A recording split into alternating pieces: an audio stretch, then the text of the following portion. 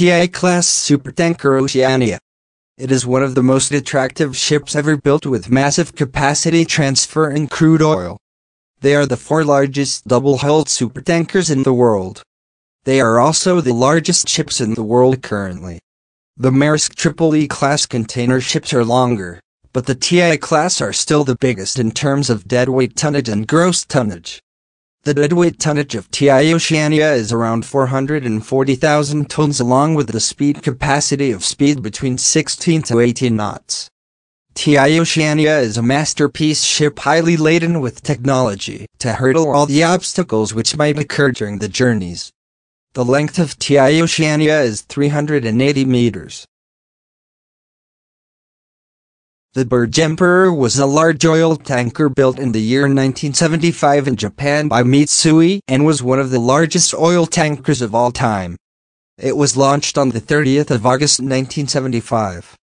The ship weighed 211,360 tons and had a length of 381.82 meters.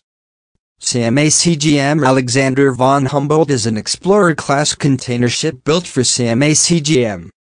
It was the world's largest container ship until the delivery of the Maersk Triple E class. The length of the massive big ship is 396 meters 1,299 feet.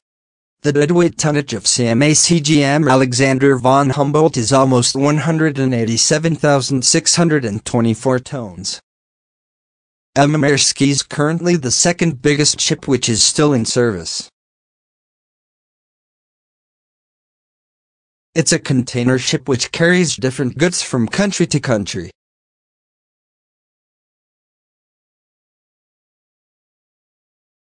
The length of the massive big ship is 397.71 meters.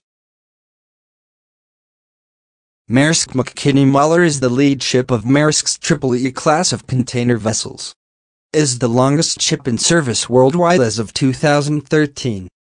Along with her sister ships, Maersk McKinney Møller is the world's largest and most efficient operational container ship as of 2013, totaling 399 meters 1. 309 feet in length and with a cargo capacity of 18,270 tow containers. She has a maximum speed of 23 knots. Esso Atlantic is one of the most popular name in the history of the big ships. This huge ship, 406.57 meters 1,333.9 feet long has an incredible deadweight capacity of 516,891 tons. Esso Atlantic has served the world with its consistent services level of straight 35 years. There's no need to say that it used to be the best ship of its time. Esso Atlantic was an oil tanker basically and was disposed off as scrap on 2002 in Pakistan. Batillus was a supertanker, built in 1976 for the French branch of Shell Oil.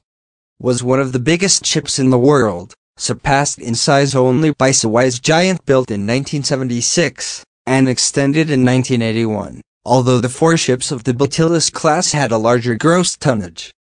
With a deadweight capacity of almost 554,000 tons and the speed 16 to 17 knots and length of 414.22 meters. Pierre Guillaumat was the third biggest ship ever built in the history of world. It was a supertanker, built in 1977 for Company Nationale de Navigation. It served the world for only six years before it was disposed of as scrap because of the huge unprofitability and declining demands.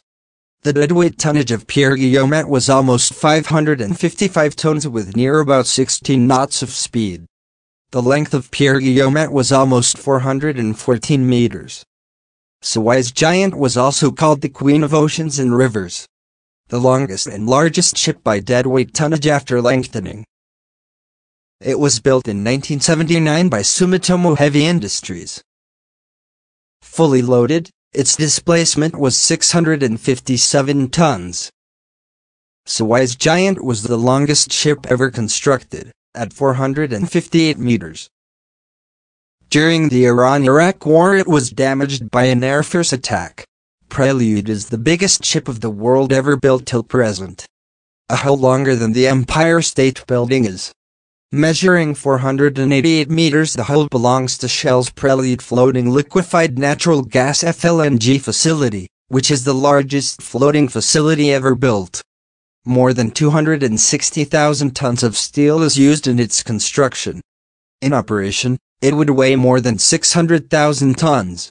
More than five times the weight of the largest aircraft carrier.